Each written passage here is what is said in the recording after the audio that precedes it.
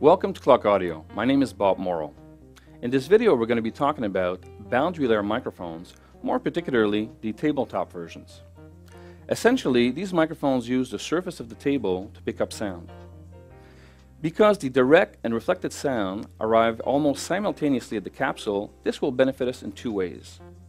One, phase problems are virtually eliminated, and two, we gain 6 dB more in sensitivity. This is a C008 ERF.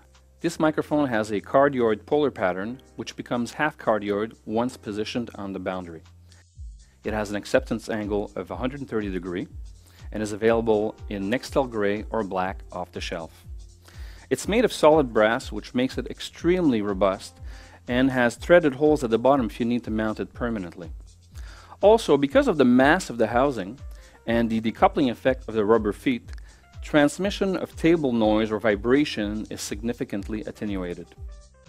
Typical applications for this microphone would be in a conference room, distance learning class, courtrooms, just to name a few.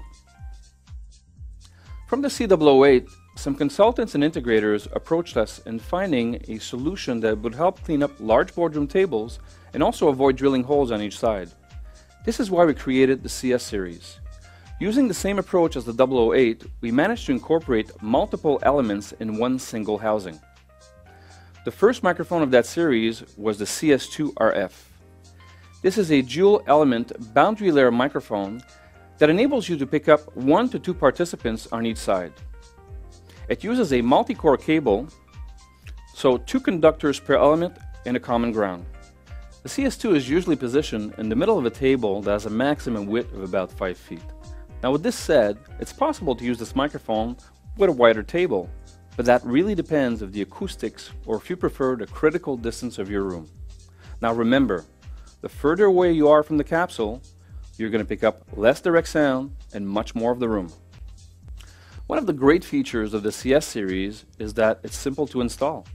All you have to do is drill a 10 millimeter hole in the middle of your table, you pass your multi-core cable through, and underneath, you use your locking washer and your nut to secure the microphone. Last but not least, just send your cable back to DSP. Now for the end of the table, we have a CS3RF. Again, same characteristics as the CS2, but in this case, three elements, so you can pick up participants on each side and at the end of the table.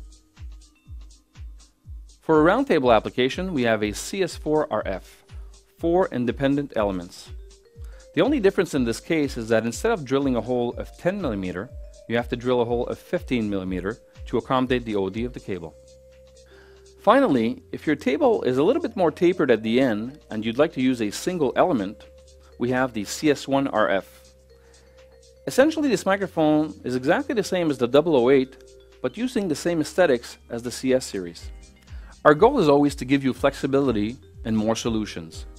So now you have the choice of using a combination of CS2 and CS1, or one CS3 to cover the end of your conference table.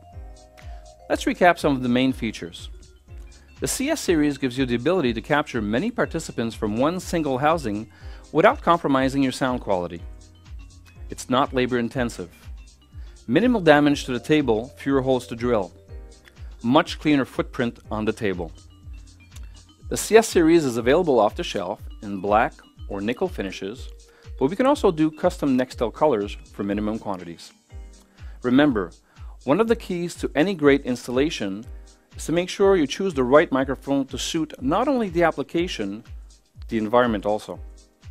So ask many questions, and if you need support, please don't hesitate to call us. It'll be our pleasure to help you out. Until next time, I'm Bob Morrow. Thanks for tuning in.